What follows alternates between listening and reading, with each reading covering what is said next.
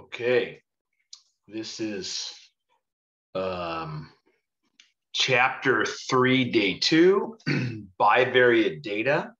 We're going to go through 13 super common questions on the AP stats test that relate to bivariate data. And they're listed here. And at the very end, I'll have a prompt and we'll go through it. Okay. So the first question they may ask is what does R mean in context of the problem and what's its name? R is called the correlation coefficient. Why it's not called C, because I think C is already taken in AX squared plus BX plus C. So they use R for whatever reason. Okay. And there's many ways to write this, but my recommendation to you is that you use the qualifiers strong, mild, or weak. Strong, mild, or weak. Okay. Um, and then positive or negative, and then the word linear. Okay, is always in there. Okay. So obviously, if the dots are like this, you know, that's a negative association. We did all that yesterday, the previous day. So you kind of have a sense of it. Now you can use other words, mostly strong, whatever, but typically strong is 0.8 or above or negative 0.8 and below. 0.6 to 0.8 is mild. And then between 0.6 and negative 0.6 is usually weak. That's kind of what I tell people to kind of memorize. All right. Number two, what does R squared mean? R squared is the same formula that you get R with. It's the same one. Okay. What's its name? Okay. It's it's a percentage. So it's the percent of the variability of Y due to X. You kind of have to memorize that. So if R squared is 64, it's 64% of the variability in Y is due to X. It doesn't mean cause effect. It means the variability is affected. And it's called the coefficient of determination. Okay. Um, they, they also have pretty common questions where they ask you to just write the equation of the least squares line and define all the variables. That's really, really common. Okay. And in that case, it's uh, y hat equals a plus bx. And usually in the, the Minitab printout, you'll see it, and we'll go over that in, in later about in later lessons. Four and five are real simple. They're plug-in problems. Sometimes they'll ask you to produce the y or the y hat by knowing what x is, and sometimes it's the reverse to get to get uh, place the value in y and produce an x. Okay. Slope. Slope. I like the sentence frame for every. So I always start with for every. To get a pin here. So for for um, ooh, there we go.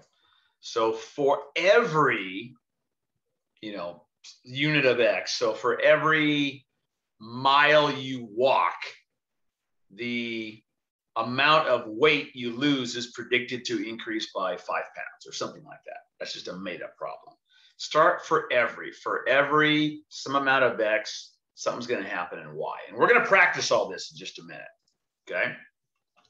Number seven this is on the, for, the green formula sheets in the back of the room that you used on AP test day. Okay. So there, it's on there. Okay. So uh, R is S sub Y over S sub X. Okay. Um, in any event, um, where R is the correlation coefficient and S sub Y and S sub X are the standard deviations of the X's and Y's. It's pretty simple. It's pretty cool. This is a hybrid of, of uh, change in y over change in x being slope. And remember, B is slope in statistics, not M. Okay. And R is the correlation coefficient. Okay. Resistant and non resistant, what do those mean? Okay. Resistant and non resistant, what do those mean? Resistant is outliers will not greatly affect the value, and non resistant is outliers will greatly affect the value. Okay. Uh, is the line a good fit for the data? Justify your answer. Um, you're going to justify using a residual plot. Now, what is a good residual plot? A residual plot that is randomly scattered, like I'm doing here. So it's evenly distributed along, it's real close to the X and Y, really close to that line right there. These are the residuals, half positive, half, half negative, okay? That will, um, that will um, be the best thing. And also if you have a high R squared, that's good too, okay? The meaning of least squares, I've seen this a few times the least squares line, why it's the best fit is it minimizes the sum of the squared residuals or residuals squared. It minimizes that. Okay. So take all those residuals, positive and negative, that miss the line, square them all, and this line minimizes it. Number 11, what does an outlier produce in the problem? It artificially reduces the value of R. Okay. So we're going to practice this, obviously. So let's look at this some, okay? All right. So let me slide down here. Uh, sorry, 12 and 13. Whoa. Uh, what does an influential point do? An influential point artificially inflates the value of R. Let me show you an influential point. You might want to write this down. Let's say you got data, first quadrant here, you got data like this.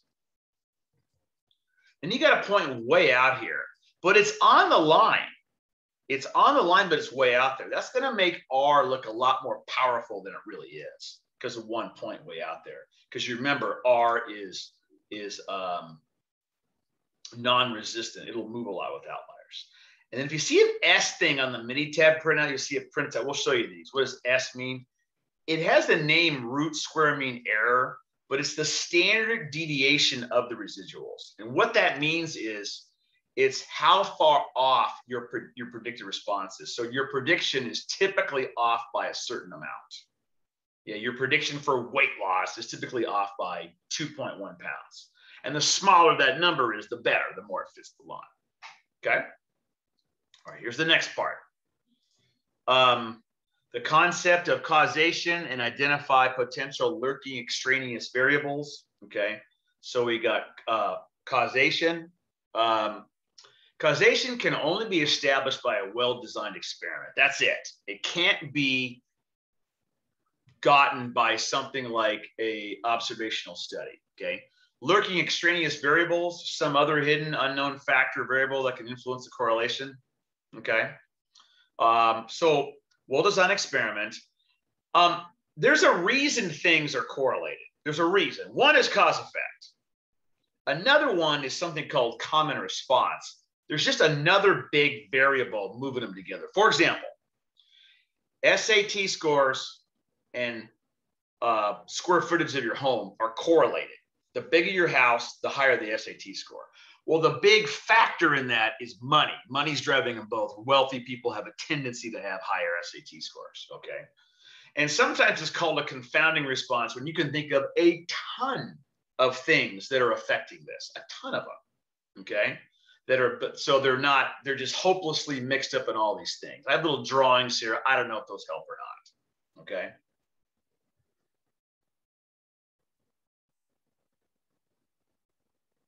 hold on just one second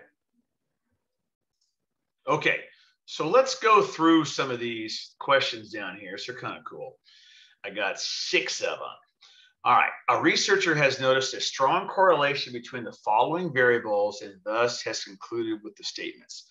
Um, does this mean the explanatory variable caused it or not? What might explain a strong correlation? I might. These are these are fun. It's fun in class if we're talking about it. But all right, income, explanatory variable, life expectancy. So you can imagine this on an axis. The more you money you make, the higher your life expectancy.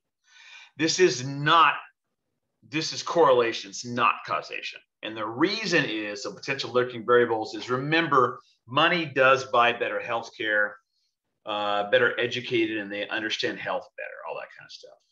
Okay, 2B.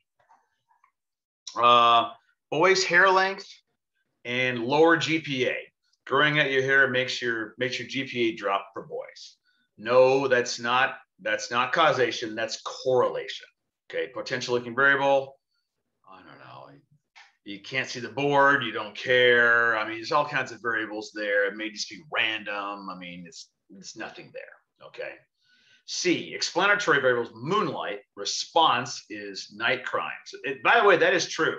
When moonlight, when there's moonlight, there's more crimes. Okay. And the statement moonlight makes you a little crazier. No, it's cause it's just not, it's correlation, not causation.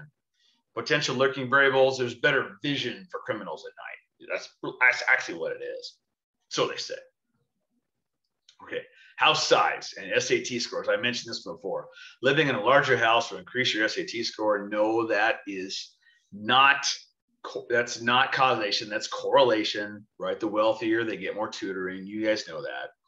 And then uh, explanatory variable, ice cream sales and drownings is my favorite one. It's true. As ice cream sales go up, drownings go up. Well, that's that's that's correlation. It's because heat. When it's hotter out, more people are eating ice cream, and more people are swimming in the ocean or whatever, or in pools. Then F, uh, brushing teeth, and the response, lack of alligators. Brushing your teeth will keep alligators from attacking you. Um, that is not that's uh, that's correlation, not causation. Oh, you know, we don't live in alligator territory here, but um, so what's funny is like they say that maybe there's less teeth brushing in the bayou in Mississippi or something like that. And they have alligators there. So that, that's what the correlation is. I don't know. I'm just making it up. Okay. Last activity. This is cool.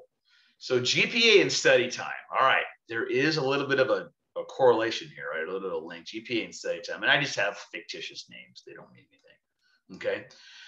And then y hat equals 0.437. Here are the numbers right here. Here's R, etc. All right, the strength looks strong. It's above 0.8. The direction is positive. See, it's going positive, and this course is linear. All right, now we're going to go through these 13 questions and see what we can do. Okay, 13 questions as best as we can. All right, so the first one, I'll go back up. To slide back and forth now. Number one, what does R mean in context? What's its name? Okay. So R is right here. You got to write this down now. Probably maybe on the back of your notes, maybe write it down, maybe something like that. Okay, R is 0.808. Okay, there is a strong, positive, linear association between uh, hours of study per night and GPA. That's it. That's what that means. Okay. The second question, hope you wrote that down. Second question what does R squared mean in context of the problem? What's, what is its name? What does R squared mean? What's its name? Okay. Um, R squared is the percent of variability in Y due to X. We have to figure out what R squared is. So I am going to square uh, R here. I'm just going to do 0.8.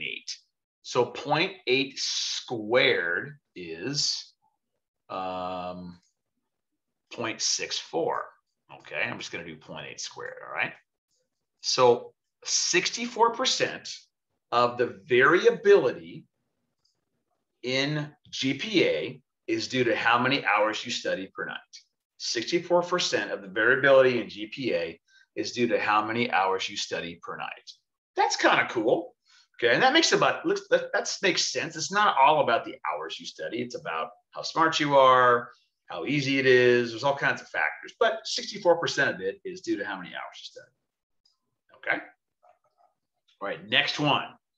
Number three. What is the equation that defines the line there? No problem. I have it right here. It's y hat equals 0.437x plus 1.747. You'd have to say y hat equals predicted GPA and X is hours of study per night. You want that written down too. Okay. So there's that one. Um, number four, place a value in X and produce a Y. That's easy. I won't even really do it.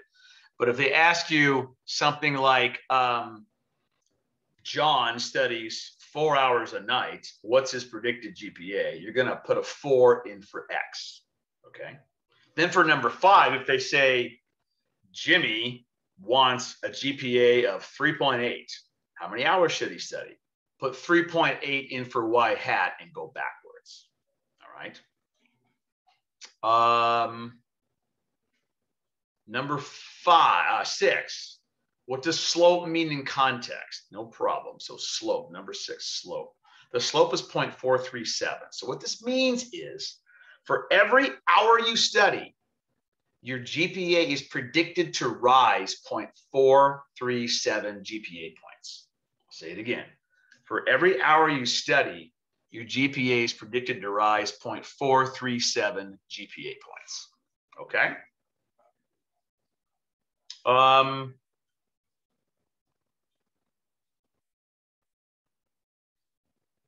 number seven, that formula, we won't do that here. We'll do it later. Resistant and non-resistant. I don't, we, we, that doesn't really apply to this.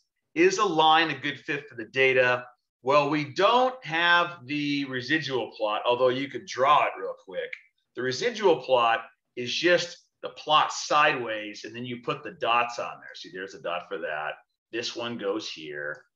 This one goes here, here, here, here. See that? I'm just kind of, I'm just manipulating the data a little bit.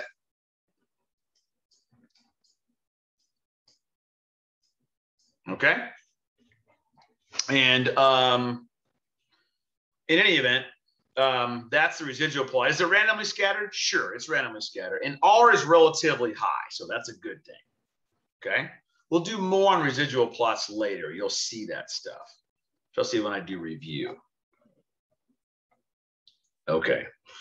Um, an outlier. Let's see here. No, no, no. There we go. What is the meaning of least squared? Gen generic question, but it's the it's the line that minimizes the sum of the squared residuals. That's another. I wrote it a little differently here. Some of the residuals squared or squared residuals. Okay. Remember an outlier. There is not an outlier here. We don't have an outlier. But if you had an outlier, an outlier would be like way down here. An outlier would change the R value dramatically and would also change the slope dramatically.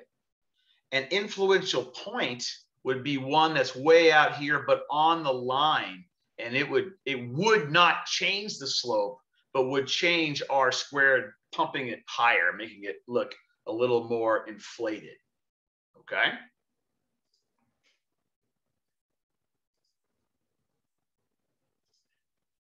whoops okay hit the wrong button there okay uh, last questions. The S and the mini printout. I don't have an S value on this, but I'm going to make it up. Let's say the S, what, how far is the typical prediction off by on this? Eh, it's pretty close. I'm going to say S equals 0.7. I'm just making it up, 0.7. What that means is the typical prediction for GPA using this line is off by 0.7 grade points, which is kind of high right? I mean, it's all relative. Okay, so that is day two of um, chapter three's notes. Okay, hope that helps you at least get started.